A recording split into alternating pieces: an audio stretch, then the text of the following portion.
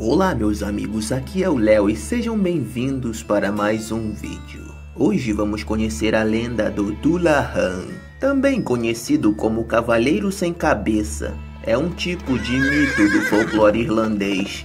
Esse ser sinistro aparece como homem ou mulher montado em um cavalo preto, e o cavaleiro não tem cabeça sobre os ombros. Normalmente o Dullahan carrega a cabeça debaixo do braço com aspecto de morta e podre, com um sorriso demoníaco espalhado pelo seu rosto de orelha a orelha.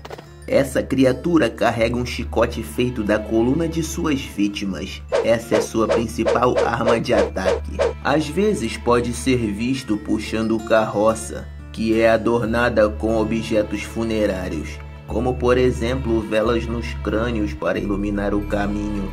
Os raios da roda os raios da roda são feitos de fêmur. A cobertura da carroça é feita de pele seca. Ali ele guarda os restos dos azarados que cruzam seu caminho.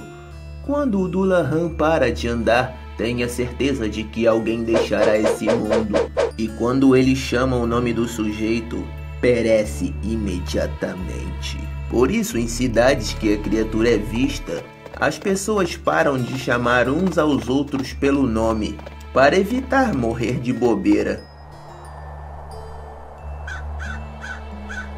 E aí, meu caro Joseph Reidenstein, qual foi a boa do dia? Você tá maluco, cara? Por que você falou meu nome todo? Você não sabe que o Dulahan tá solta por aí? você acredita nessa lenda, caro Joseph Reidenstein? Caracas, de novo você falou meu nome, Lazareto. Eu vou embora daqui. Oh, estou sentindo uma coisa dentro de mim. Ah!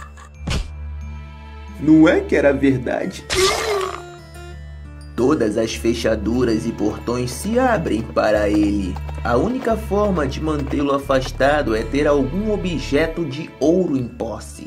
Mesmo um único alfinete desse metal raro pode afastar a criatura e salvar sua vida.